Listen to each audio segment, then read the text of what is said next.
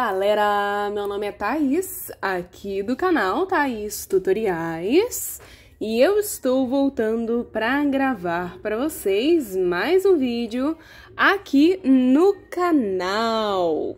No vídeo de hoje, eu vou te ensinar como postar foto inteira no feed do Instagram, porque o feed, ele basicamente tem um enquadramento específico. Então, se a sua foto é maior que aquilo, ele vai cortar a sua foto para que ela caiba no enquadramento específico do feed. Tá? Não é como no story que a gente pode postar ele como uma foto maior, né? Uma foto retrato maior. O feed ele basicamente tem um, um uma parte basicamente um enquadramento que é mais quadradinho, né? Bem quadrado mesmo para você postar a sua foto. Então vou te mostrar como é que você vai postar uma foto maior, né? Que é aquelas é, retrato mesmo. Vou te mostrar, é bem simples. A gente vai utilizar aqui, ó, esse aplicativo que é o aplicativo InShot. Então você vai entrar aí na sua Play Store, vai jogar aí InShot desse jeito mesmo e vai fazer o download e instalar este aplicativo aqui, tá? Tendo instalado ele no seu celular, você tem que, é claro, já ter a sua foto que você quer postar aí separada, né? Então, vou mostrar pra vocês o que que acontece normalmente quando a gente vai postar no feed, ó. ó a gente vai clicar ali em cima no quadradinho com o mais, né? Em seguida, clica em publicar, pra gente entrar na parte do feed, né? Ele me pergunta aqui qual foto que eu quero. Eu vou clicar na foto, uma foto que seja maior, né?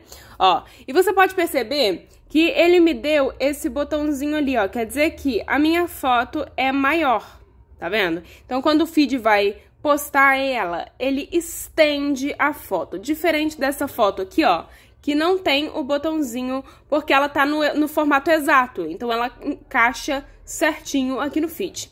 Então, eu vou mostrar pra vocês como é que você vai fazer pra postar uma foto desse tamanho aqui, com a, a imagem inteira, sem você precisar estender ela desse jeito, tá? Então, vamos entrar no InShot, ó. Aí, você vai clicar aqui em Foto, ó. E você vai selecionar a foto que você quer postar, né? Eu vou selecionar... Cadê a mesma foto? Aqui, ó.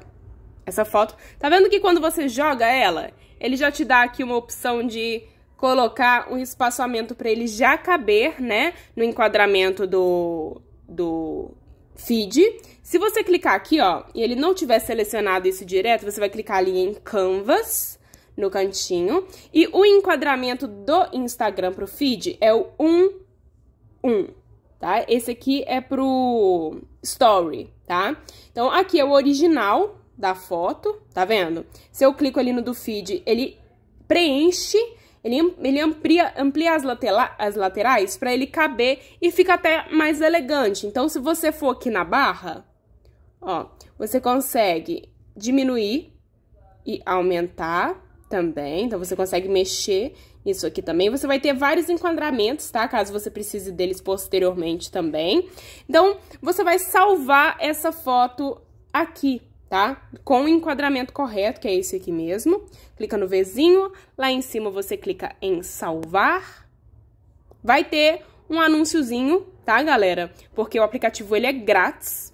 Então, tem um anúnciozinho aí pra vocês assistirem. Clica no xizinho lá em cima mais um anúnciozinho, xizinho, e pronto, ele salvou a foto no seu celular, você pode fechar o InShot, volta pro feed, e você vai esperar a foto aparecer aqui, ó, deixa eu abrir de novo, que ela não apareceu ainda.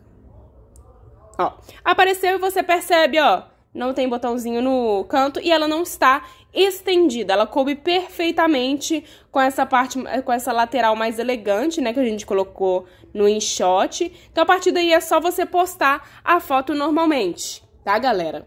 Então, é isso. Quem tiver alguma dúvida pode colocar nos comentários. E quem gostou desse vídeo já deixa o seu like, a sua inscrição no canal também e não se esqueçam de ativar o sininho para vocês receberem as notificações dos meus próximos vídeos do canal.